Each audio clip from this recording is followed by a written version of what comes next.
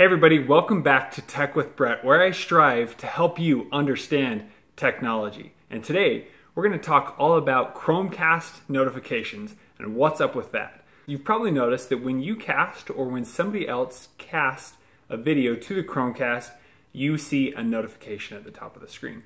So Google added an update that allows others on the same Wi-Fi to see when you are casting. The great part about this is it's a way that you can have another controller in the house. Say my wife is casting Netflix to the Chromecast, and then I want to pause it for some reason, I can do that on my phone. So let me show you how this works. So this device is where I started casting. So here I have the play and the pause controls right on this phone. These other two devices are simply on the same Wi-Fi network. So when I pull down, you'll see that they also have a notification as well. So you can do a few things. A lot of people are annoyed by this notification, but I think it's a great thing as long as you know what this notification will do for you. So here on the other devices, you can see that when I hit play, that will continue to play the video. Maybe if I want to mute the video, I can do that on one of the devices. Then I am able to unmute on any of the others. So if you don't want to see this notification and you don't care to control the device, there's a few things you can do.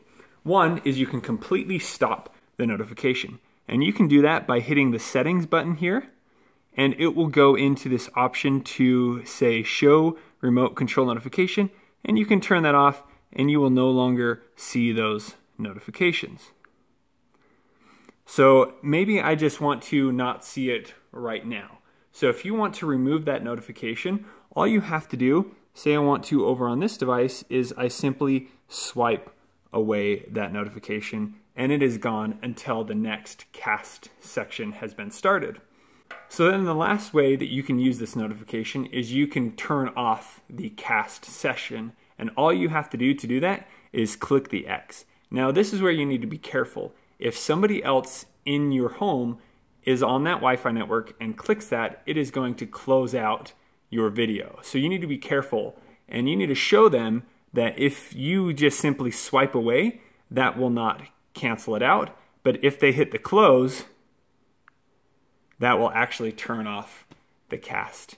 These will only work on Android devices. If you have an iPhone, you won't see these notifications. You actually have to go into the Google Home app to see that notification and pause or play Thanks again for joining me today on Tech with Brett. I hope this really helped you out in understanding Chromecast notifications. If you have any questions about the Chromecast, please leave a comment below and I'll be sure to help you out, as well as hit that subscribe button and like button so you can continue to get my new uploads notified to you. And until next time, happy casting.